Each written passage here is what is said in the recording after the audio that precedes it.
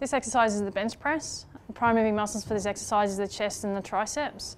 This is really good for developing upper body strength and helping you with everyday tasks that require you to push objects away from your body.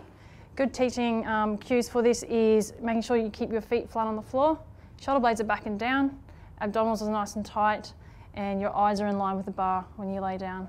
Okay, I'm just going to demonstrate three repetitions for you. So if you just stand there and, and watch.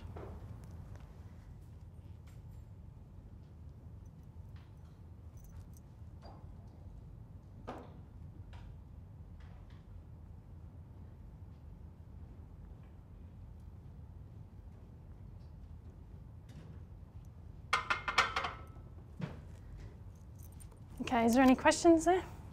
All right, I'll just get you to do five to six repetitions, Danny.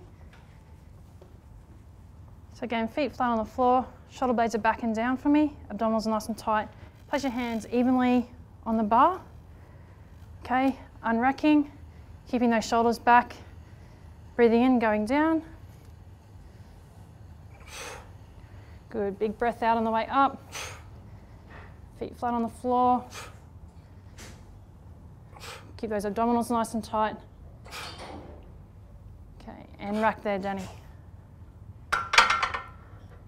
Good work, Danny.